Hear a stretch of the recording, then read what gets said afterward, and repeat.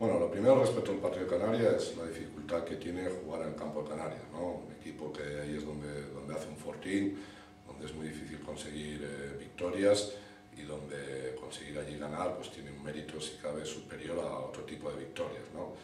Y luego lo que vamos a intentar es que nosotros seamos un equipo que, que, a partir de ahora sea un poco lo que ofrecimos en, en la segunda parte, ¿no? un equipo que entiende el baloncesto desde la intensidad defensiva, desde la solidaridad, desde un ataque, desde un ataque colectivo, sabiendo de que no es una situación normal el, el parcial de, de 22-0, pero que sí tenemos que dejar de, entrar mal en los partidos, que es una de las cosas que estamos pagando y que fuera de casa muchas veces no te deja recuperar. Entonces nuestra mentalidad es tener una buena entrada en partido, reconocer la dificultad y los grandes jugadores que tiene eh, Canarias y sobre poco lo, lo, que el otro día enseñamos en la segunda parte, poder darle y que esta sea la, la línea de juego que, que, tengamos en las próximas jornadas. Bueno, el que tenemos un poco a Rafa Martínez con las rodillas maltrechas, encima con una supercarga de minutos que, que no le ayuda a recuperar, pero bueno, nuestros hombres más duros y seguro que estará.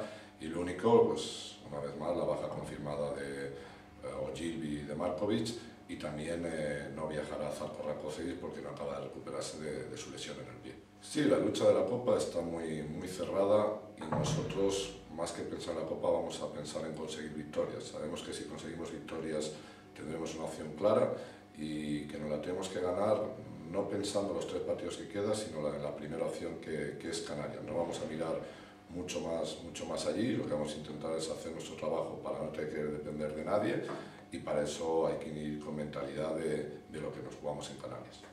València Bàsquet Club, des de 1986. Viu l'esperit taronja.